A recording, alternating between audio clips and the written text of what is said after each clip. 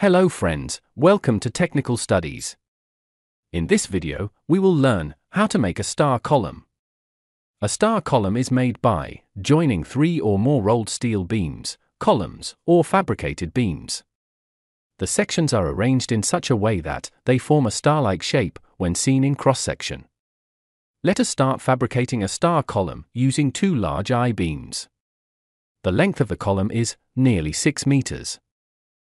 The base plate thickness is 70 mm, the top plate is 40 mm thick, and the rib plates are 16 mm thick. The thickness of the web is 23 mm. First, mark the center of the beam.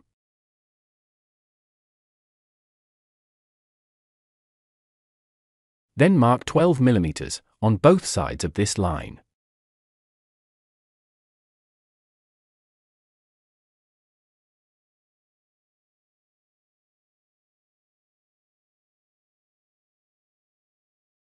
Cut and remove this center part. Keep stitches at both ends and at intervals of roughly 1.5 meters to control distortion during cutting. Now separate and clean the cut pieces.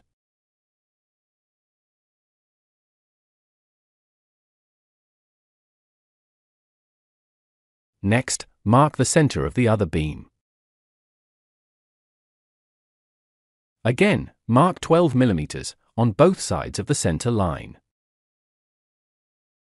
Tack weld, stopper cleats, on both sides of these lines. The size of these cleats shall be 100 by 80 and 12 mm thick.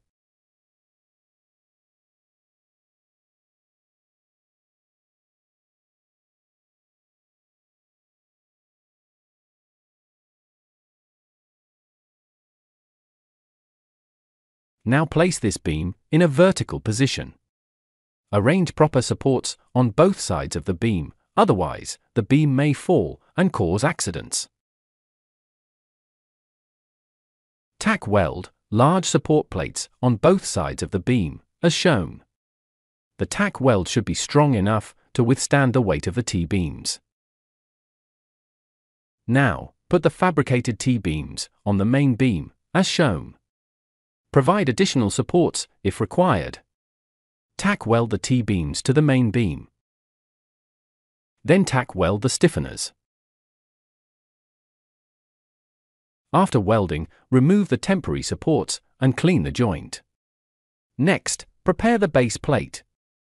Mark the center line of the plate and the center line of the beam.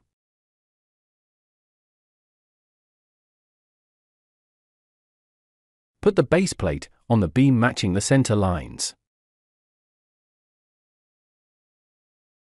Tack weld the base plate to the beam.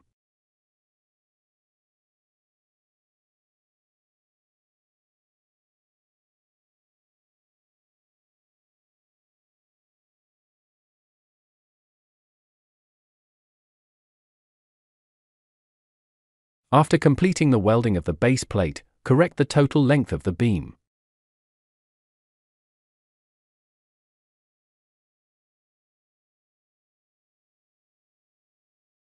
Finally, fit up the top plate and complete the welding. Thank you for watching. Please subscribe, like, and comment.